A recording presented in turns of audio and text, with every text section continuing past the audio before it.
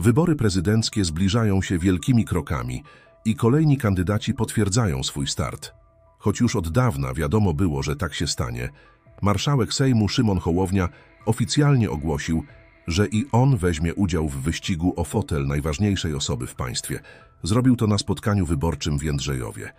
A ja dzisiaj przyjeżdżam do Was, żeby się Wam przede wszystkim przedstawić, bo jak może wiecie, nazywam się Szymon Hołownia, mam 48 lat, pochodzę z Białego Stoku, jestem e, tatą dwóch wspaniałych dziewczynek, Mani i Eli, które coraz bardziej zaznaczają swoją obecność w świecie, swój temperament i charakter, które odziedziczyły pewnie i po mnie, ale też i po mojej żonie, która jest oficerem sił powietrznych.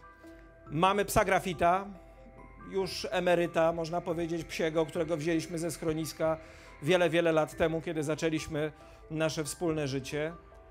Od dokładnie roku, dokładnie od roku, jestem marszałkiem Sejmu, bo to się stało 13 listopada 2024 roku. A dzisiaj, zaczynając tę dyskusję, już jakby rozbrajając tę bombę, bo tu już widzę, media są całe y, gotowe i przygotowane, chcę powiedzieć jeszcze jedno. W styczniu przyszłego roku będę kandydatem na prezydenta Rzeczpospolitej Polskiej. Zdecydowałem się kandydować i zdecydowałem się powiedzieć Wam o tym tutaj, w Jędrzejowie, na tym spotkaniu. Choć ogłoszenie to było w zasadzie tylko formalnością, to jednak kolejne słowa Szymona Hołowni wzbudziły więcej emocji i to na nich skupiła się większość komentujących. Marszałek Sejmu powiedział, jakim chce być prezydentem, co skonfrontowane z rzeczywistością może nieco zadziwić. Dlatego mam dzisiaj odwagę, dzisiaj tutaj przed Wami, powiedzieć tak, zdecydowałem, że chcę kandydować, pokornie ubiegać się o to, żebyście pozwolili mi być prezydentem Rzeczpospolitej Polskiej. Chcę być niezależnym kandydatem na prezydenta. Chcę być kandydatem niezależnym i niezależnym prezydentem. Powie ktoś, no dobrze, no ale jak niezależnym, skoro masz człowieku partię polityczną, jesteś w tej grze, jesteś na scenie. Słuchajcie, tak, stworzyłem wspaniały ruch, Polskę 2050. Z tymi wspaniałymi ludźmi, którzy tutaj dzisiaj są. Ale jestem i będę niezależny bo ani nie mam, ani nie będę miał żadnego premiera, który zadzwoni do mnie, jak będę prezydentem i będzie mi mówił, co mam robić. Nie będę miał żadnego przewodniczącego, który zadzwoni do mnie i powie: Jesteś prezydentem nominowanym i wybranym przez partię, w związku z powyższym rób to i to. To jest niezależność. Móc słuchać siebie, swoich własnych przekonań, ale też móc w związku z tym w wolny sposób wyjść i powiedzieć: Chcę słuchać ludzi. Chcę być prezydentem ludzi, a nie partii politycznej. Właśnie ten fragment o niezależności członka aż dwóch koalicji wywołał emocje. Hołownia jest jednym z liderów koalicji rządzącej oraz trzeciej drogi, która jako koalicja startowała w wyborach do Sejmu. Dlatego z tą wypowiedzią Hołownię postanowił skonfrontować inny niezależny kandydat na prezydenta, Sławomir Mencen, który w mediach społecznościowych rzucił marszałkowi wyzwanie. Chciał zorganizować z nim debatę. Mencen napisał, ponieważ uważam się za jedynego niezależnego od popis kandydata w wyborach prezydenckich, proponuję uważającemu się również za niezależnego panu Szymonowi Hołowni debatę. Omówmy to, a także nasze podejście do gospodarki, Unii Europejskiej, Zielonego Ładu, imigracji, praworządności i innych ważnych spraw w debacie termin i miejsce do uzgodnienia. Szymon Hołownia jednak nie podniósł rzuconej mu rękawicy, w mediach twierdząc, że z pojedynczym uczestnikiem wyścigu do fotela prezydenta to on nie ma czasu dyskutować i woli poczekać, aż będą ogłoszeni wszyscy kandydaci. Sprowokowało to Mencena do ostrego wpisu na temat marszałka, w którym mocno go zaorał. Niestety Szymon Hołownia znowu się spłakał i odmówił debaty ze mną, Głupio się tłumacząc, że czas na debaty jest w trakcie kampanii. Co się stało z jego potrzebą dialogu? Może podziała się tam, gdzie jego troska o konstytucję. A może niepotrzebnie się wyzłośliwiam, bo to po prostu Tusk nie pozwolił mu na debatę.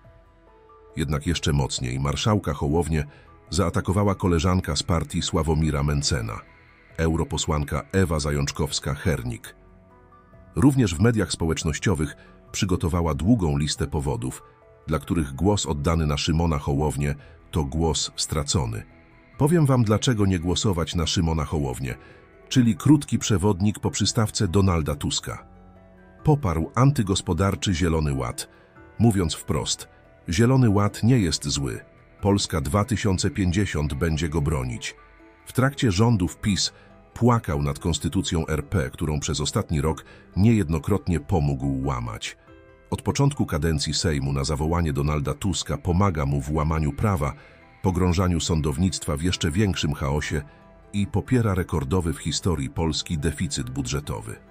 Zaprosił do Sejmu imigrantów, którzy nielegalnie przekraczali granicę polsko-białoruską, pokazując w jakim poważaniu ma Straż Graniczną i sprawy bezpieczeństwa Polaków. Okłamał Polaków razem z PSL-em, obiecując w kampanii dobrowolny ZUS dla przedsiębiorców. Na stanowisko ministra klimatu i środowiska oddelegował ze swojej partii klimatystkę, Paulinę Henik-Kloskę, która odpowiada za aferę wiatrakową i bronił ją za forsowanie lobbyingowego projektu ustawy w sprawie wywłaszczeń pod niemieckie wiatraki. W przyszłym roku wydatki Kancelarii Sejmu, za którą odpowiada, mają sięgnąć rekordowych 859 milionów złotych, czyli zamiast rozsądnego zarządzania mamy rozpasanie na koszt polskich podatników. Nie popiera polskiego złotego i podkreśla, że w Polsce 2050 chcemy jak najszybszego przyjęcia euro. Mówimy o tym wprost i konsekwentnie. W Radiu Z z pełnym przekonaniem stwierdził, że trzeba jak najszybciej skończyć z gotówką i przyjąć pieniądz cyfrowy. Jego europosłanka Róża Thun poparła w Brukseli Zielony Ład, Fit for 55, dyrektywę budynkową, zakaz aut spalinowych i wszelkie dyrektywy wymierzone w Polskę. Niedawno chciał wgniatać w ziemię Putina, a teraz ucieka przed zwykłą debatą, na którą zaprosił go Sławomir Mencen. Szymon Hołownia to nie jest trzecia droga. To jest droga donikąd, napisała. Sławomir Mencen wytoczył jeszcze kolejne działa przeciw Szymonowi Hołowni. Wpis na mediach społecznościowych ze zdjęciem, w którym można przeczytać. Szymon Hołownia. Pozwólcie mi zrobić to, co zrobiłem w Sejmie, ale tym razem w Pałacu Prezydenckim. Później Mencen opublikował specjalny klip, w którym stwierdza, że głos oddany na Hołownię to tak naprawdę głos na Donalda Tuska. Wylicza w nim także wszystkie grzechy marszałka Sejmu w pierwszym roku sprawowania przez niego funkcji drugiej osoby w państwie, podobnie jak zrobiła to wcześniej Ewa Zajączkowska-Hernik. Widać wyraźnie, że kandydat Konfederacji chce jak najszybciej osłabić pozycję Hołowni, by po ogłoszeniu, kto wystartuje z ramienia PiS i KO, móc skupić się na nich. I to wszystko w tym odcinku. Co sądzicie o kandydaturze Szymona Hołowni? Czy słusznie jest atakowany przez Sławomira Mencena i Ewę Zajączkowską-Hernik? Zapraszamy do dyskusji w komentarzach. A jeśli chcesz zobaczyć więcej podobnych filmów, to koniecznie zasubskrybuj nasz kanał. Do zobaczenia.